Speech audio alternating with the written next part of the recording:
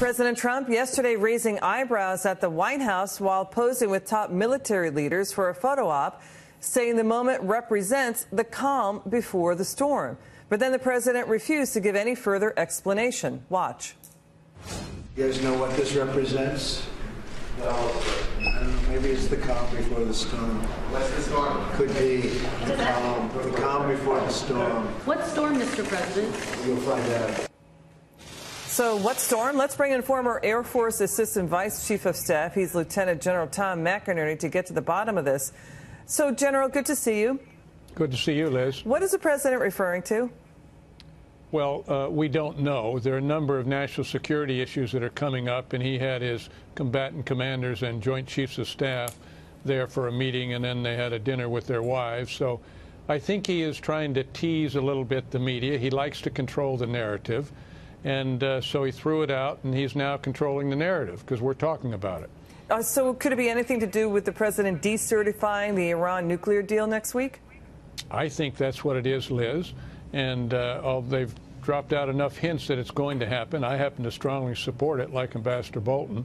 It was a flawed deal. He said it in the UN General Assembly, and I hope he does it. Now, our European allies are not going to like it because of the trade implications for him, but it is the right thing to do. Is it North Korea? Because the president tweeting last weekend that basically um, there's still issues with North Korea. And the other question, too, about North Korea, General, uh, there's a lot of talk about should we just be on a policy of deterrence and containment because the Soviet Union collapsed without a single shot being fired. It, you know, collapsed under its own weakness. What do you think?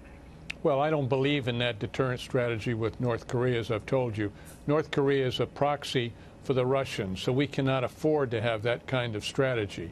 I do believe that he's also referring to Korea, what he's going to do. Is he going to have more uh, economic sanctions, more diplomatic work, or is he going to start moving forces into the theater? And so uh, when you're asking, I think it's all of the above. You know, so there's also talk about a cabinet shakeup potentially. Reports emerging that President Trump may replace Secretary of State Rex Tillerson with CIA Director Mike Pompeo. What do you think of that, and what effect, if that happens, could this have on foreign relations? Well, uh, of course, he'd have his own reasons, but I think you can only fire so many cabinet levels people in the first nine months. I think uh, Secretary Tillerson did a very good job last Wednesday on requiting himself, and uh, so we'll have to wait and see, but that could be it. You know, the other issue, too, is Venezuela. The leader of Venezuela, the socialist dictator Nicolas Maduro, saying earlier and also just yesterday that Russia would back Venezuela against the U.S. if the Trump administration does decide to use military force in that country. The president has talked along those lines. I mean, Venezuela, as you know, sir, they have a lot of Russian military hardware, tanks, and surface to air missiles, and there's talk that it's using Nicaragua as a conduit for these Russian weapons. What do you think about Venezuela here?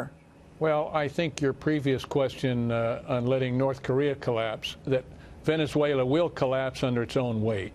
It doesn't have much more time. With all that wealth they have had, they have proven that socialism will fail.